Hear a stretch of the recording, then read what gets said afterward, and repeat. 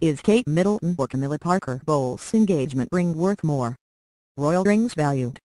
Kate Middleton and Camilla Parker Bowles, 70, are both married to princes. Kate Middleton had her wedding to Prince William in 2011, and Camilla married Prince Charles, 69, in 2005. Whose engagement ring is worth more? Kate Middleton's wedding to Prince William, 35, in 2011 was a fairytale affair with the Duchess of Cambridge wearing an Alexander McQueen gown reportedly worth £250,000.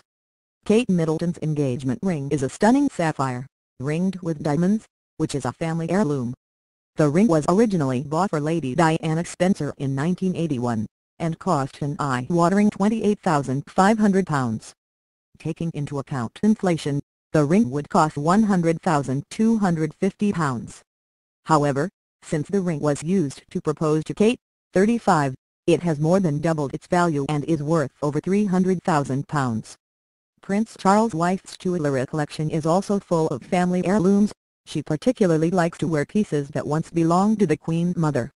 Camilla Parker Bowles' engagement ring is one of these gems. The ring is a huge statement ring, which Camilla wears with a modest gold wedding band.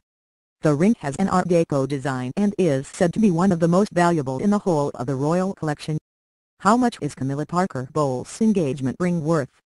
Grant Mobley, a gemologist and director at Pluxonic, one of the world's leading diamanteurs said, I would imagine the approximate 5-carat large emerald cut center diamond flanked by 6 baguettes in an Art Deco pattern and platinum setting would be worth around $225,000 USD, or 166,400 pounds.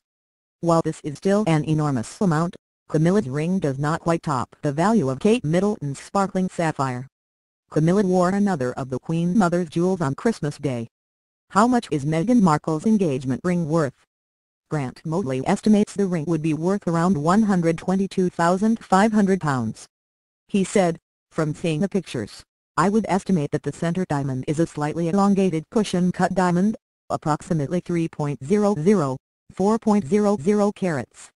The side diamonds are more than likely oval or round cut diamonds about 0.75 carats each. The value of such a center diamond greatly depends on the color and clarity of the stone. While it is very difficult to tell the clarity without examining the stone, one would imagine Prince Harry would pick something close to flawless. In that case, we would estimate that the value of the center stone would be around £70,000, £115,000 while the side stones would have an intrinsic value of around £3,750 each.